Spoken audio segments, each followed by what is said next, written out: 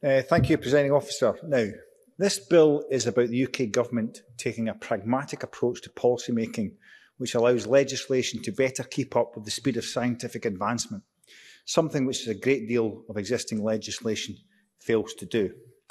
Scottish Government motion, however, is symptomatic of the Scottish Government's continual desire to create difference between Scotland and the UK at any opportunity. Now, we do have some sympathy with the desire to clarify the scope of Clause 42, but the Scottish Government's approach to addressing this, introducing an unnecessary LCM, seems to be more about posturing than principle, and we cannot support the motion as it is drafted. The very first line in the motion has the Scottish Government demanding that the Parliament not support the bill. And there's no way we can get past that because it is a decent bill. It supports research, much of which happens here in Scotland, and ensuring that our food producers are not put on an uneven, uneven playing field when supplying to our biggest market, the rest of the United Kingdom. Are the Scottish Government really suggesting that we throw the Scottish food producers under the bus because of a clause they question? The Scottish Government have stated that they would back off if the bill is amended as it progresses through the UK Parliament.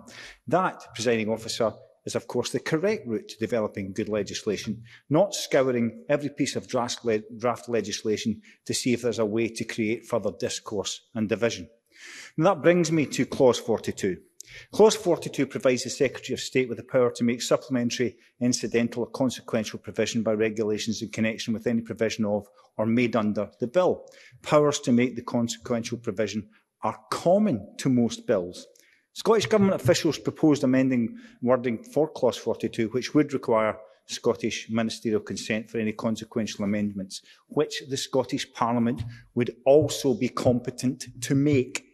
The UK Government's position is that Clause 42 does not trigger an LCM and that an amendment to Clause 42 is neither desirable nor necessary. Now, that's because the Convention to seek an LCM only applies when legislation makes provisions specifically for a devolved purpose, not when legislation deals with devolved matters only incidentally to or consequentially upon provisions made in relation to a reserved matter. Reserved includes matters which apply substantively in England only. The UK Government's view is that Clause 42 does not trigger the LCM process, nor does it engage the Sewell Convention. Devolution guidance is clear. Consent need only be obtained for legislative provision which are specifically for devolved purposes, and the bill is England only. The UK Government has updated the Delegated Powers Memorandum and explanatory notes of the bill to reassure the devolved administrations and illustrate the intended use for and the limits of Clause 42. Of course, I cannot rule out that the Scottish Government approach has been driven in part by the SNP's wider opposition to gene editing. Despite the urging of farmers and researchers alike, the Scottish Government remained firmly on the fence, insisting they will wait to see what the EU does instead of delivering the guidance the sector in Scotland has been calling for.